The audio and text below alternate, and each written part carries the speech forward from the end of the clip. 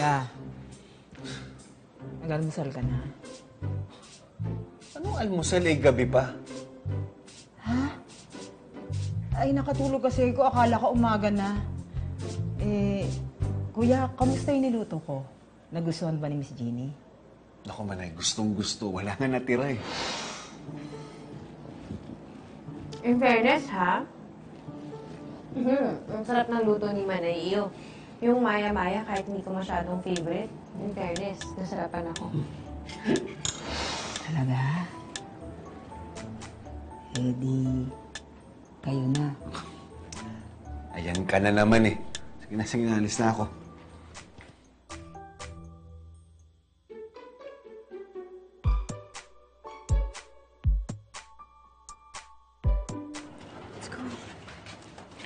Kaya na, anak.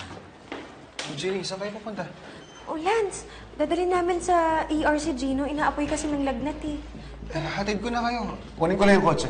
Ay, hindi, hindi. Okay lang. Magta-taxi lang kami. Sige na. Ano, okay lang. Lalabas din naman ako eh. Sige na. O, Manong Yak, kami na lang po. Maraming salamat po. Ah, ako na po. Hindi na. Ako na, ako na dyan. Ay, Sige na. salamat po. Halika na. Ingat kayo. Sige po. Ingat kayo. Manong Yak.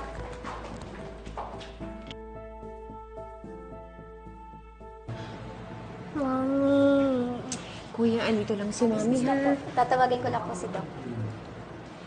Dito lang ako. Ay, naka lang, Kuya, ha? Uh, Mi, share lang po ako.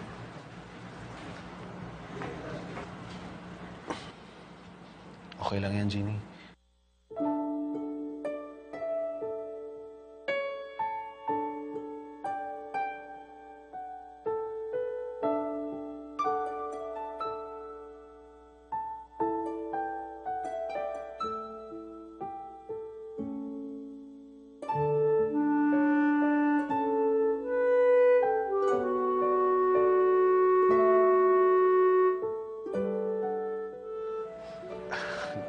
Gagaling na yan si Gino.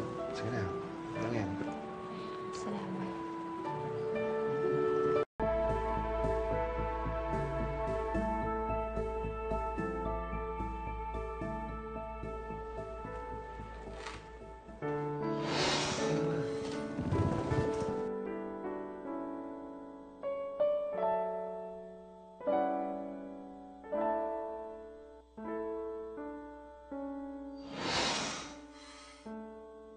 Tatlong hearts? Bakit tatlong hearts? After nung nangyari? Hmm, Jeannie, wag asyumera. Wag malisyosa. Hindi ka na bagets.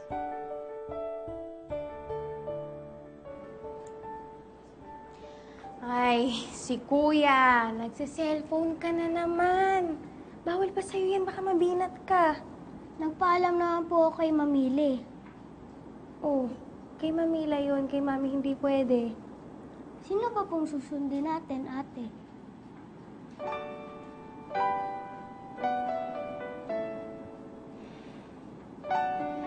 Ay, kuya.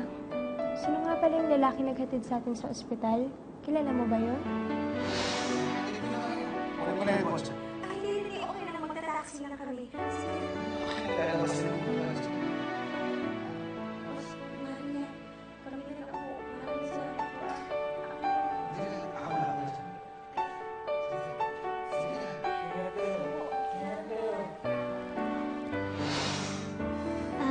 Tito Lance po yun. Siya po yung tumulong sa akin nung nawala po ako sa park. Dito rin po siya nakatira sa condo. Mabait po siya para siyang si Daddy.